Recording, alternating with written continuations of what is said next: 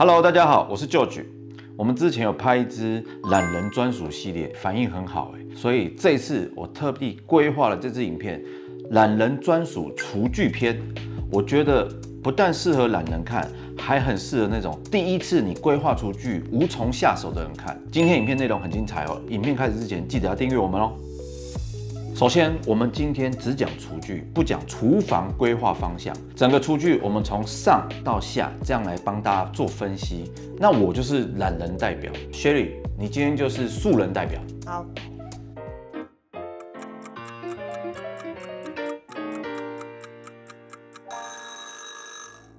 我们先从柜体，整个柜体的结构呢，厨具可以分成发泡板、木芯板、不锈钢，还有系统板。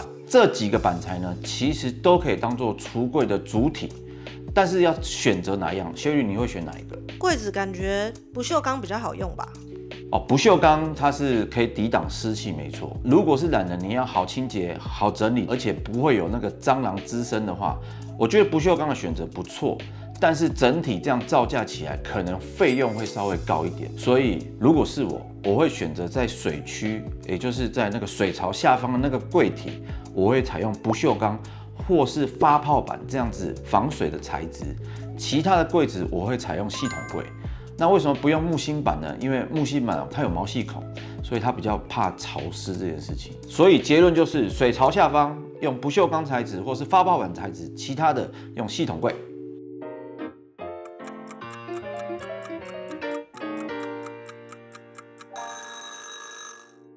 再来，我们讲橱柜的门片。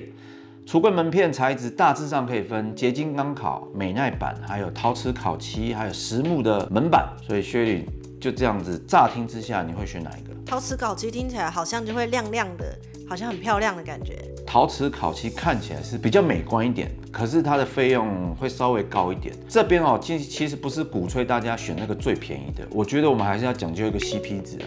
如果是我，我会选择结晶钢烤。因为它表面哦，其实也是很好擦拭、好保养的。但是陶瓷烤漆可能就比较怕撞。其实每个门片基本上都是怕撞啊，只不过陶瓷烤漆你要更小心一点。但美耐板是里面造价最便宜的，可是因为它花纹选择不多，又有黑缝的问题，所以我比较不会选择那样子的材质。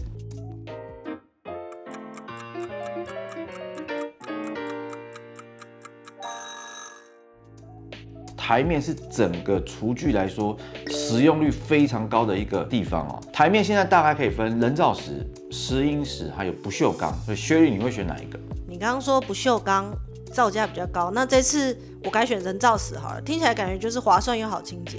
人造石的确是很多人的选择之一，但我先分析优缺点一下。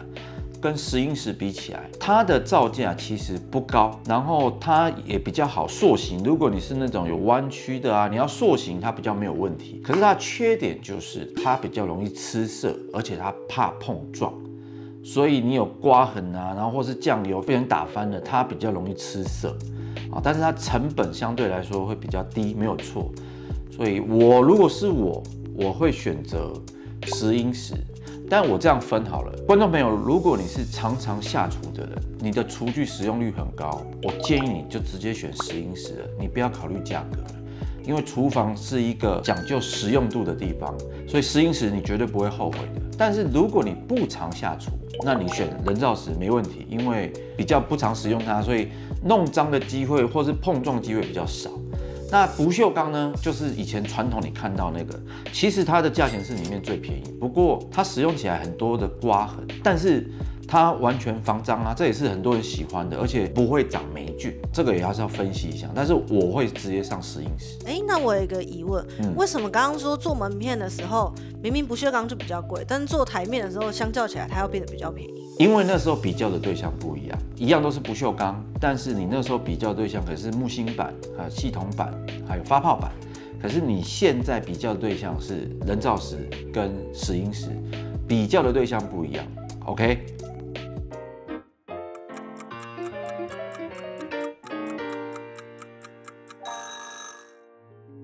好，我们接下来来讲水槽，从材质上来分，大致上可以分成不锈钢。还有花岗岩，还有人造石水槽。好，那薛律，你作为素人派的代表，如果是你，你会选哪一个？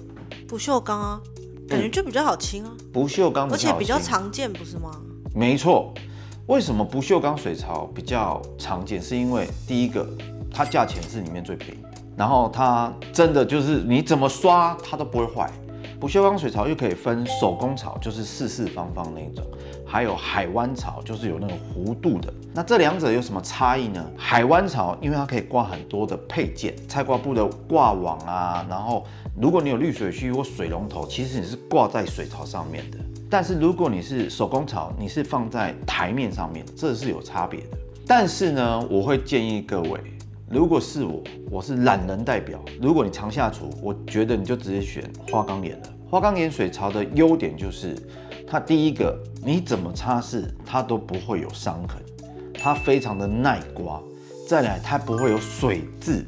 哦，这个很重要哦，因为如果你买到品质不够 OK 的不锈钢水槽，真的不小心大力的碰一下，它会有凹痕的哦。所以便宜归便宜啊，如果以耐用度来讲的话，预算够就直接选花岗岩。但提醒各位，不管你怎么选，我建议内径至少要有六十公分以上，你那个水槽才会好用。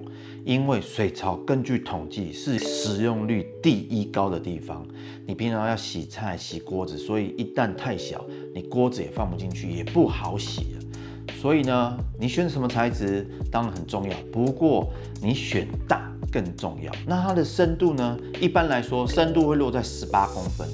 如果你选到二十公分的，你要考虑到你的台面高度，好吗？这我们讲过很多次。如果你选的越深，代表你弯的要越下去，代表你的台面高度完成的高度要越高。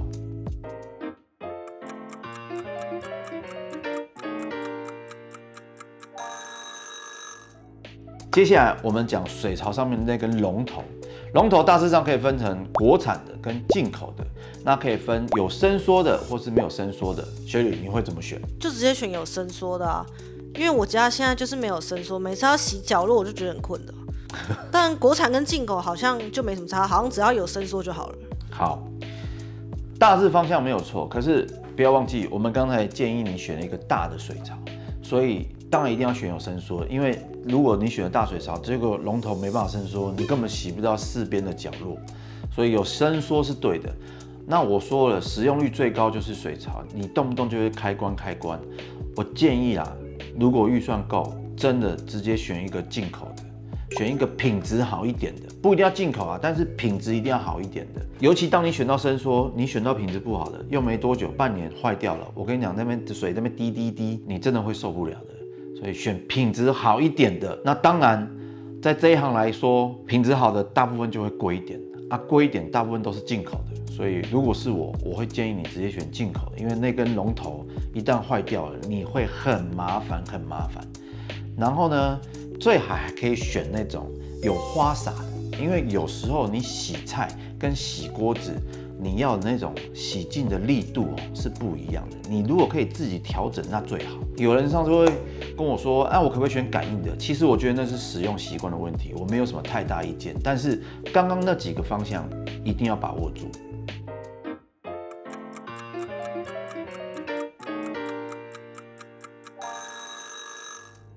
这个防溅板区域呢，一般来说大家都知道可能会贴烤漆玻璃，但在我的开箱的作品里面，有些会贴瓷砖。所以雪莉，您知道要怎么选吗？我认真看影片，我知道要选烤漆玻璃，因为瓷砖缝太多了。没有错，瓷砖缝如果多，那很容易油烟就会粘附上去。那烤漆玻璃并不是唯一的选择，因为现在还有出一些像防火抗菌板或是珐琅板，只要你能减少缝隙的产生，最好没有毛细孔，然后平面好擦拭，所以烤漆玻璃就是一种。它价钱的确是最优惠的，可是它的变化性就很少。但如果你是不常下厨的人，我觉得你可以考虑贴瓷砖，但是呢，瓷砖也不要选太小块的，选大块一点的，让缝隙少一点。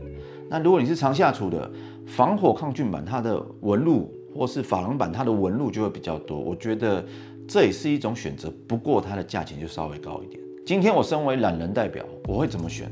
我会选烤漆玻璃，因为烤漆玻璃颜色就是那几个比较主流色，很好选。我是懒人，我连纹路的思考我都懒得去想，因为有时候我会有选择障碍，所以烤漆玻璃是蛮好的选择。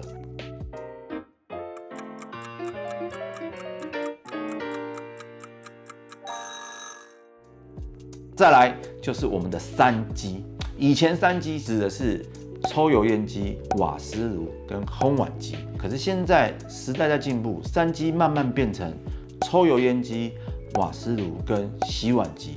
那这三机有什么选择的秘诀？以抽油烟机来说，大致上可以分成隐藏式的跟倒梯形的。还有我们静息式，也是我们那个斜背型的。谢律，你知道要选哪一个吗？感觉就通通藏起来最好用，应该是隐藏式吧。隐藏式的就是多了一个收纳的小空间，虽然上面可以放的东西不多，可是它至少门片是盖起来的。那很多人会选择倒梯型的，是很美观，因为它比隐藏式看起来哇，那个设备这样子很干净利落。但是身为懒人代表，我建议你选择斜背式的，就是静吸式的抽烟机，因为它的排烟能力哦，比隐藏式的、比倒梯形的都来得强。再来，它是全玻璃镜面，所以擦拭保养这部分没问题。你刚才讲的那几个隐藏式的，还有那个油机啊，你知道这对懒人来讲是非常麻烦的一件事情。倒梯形它那个后面哦，会接很多灰尘。我很久以前就是这样。一两年没去看，一摸哇，全部都灰尘。我有看过一些厨房的使用者哦，他为了好清洁，他把那个保鲜膜把整个抽油烟机全部包起来，就是怕油烟粘附上去，他还要去清。所以我觉得现在那种静吸式的会比较符合懒人的需要。再来是洗碗机，它所需要的宽度是六十公分，所以水槽旁边你一定要有六十公分，否则就没有办法装。现在有一些专属小家庭的可以。缩到四十五公分，就是小型的，可能二到四人用的那一种。这个的确也是懒人福音之一。那还有一种是抽屉型的洗碗机，对我来说，其实这些洗碗机都不错用。不过你要养成这种使用的习惯，因为有人装了不用，他就觉得我用手洗比较快，所以产品要选对。那还有一个就是厨下饮水机，我觉得这真是懒人福音。以前我们要放个热水瓶，你要喝热开水要先煮开，或者是用瓦斯炉拿个水壶在那边烧。现在初夏饮水机，它可以让你省去很多摆这种小家电的烦恼。它就在你的水槽旁边，你要热水、冷水都可以设定温度，它还可以滤水。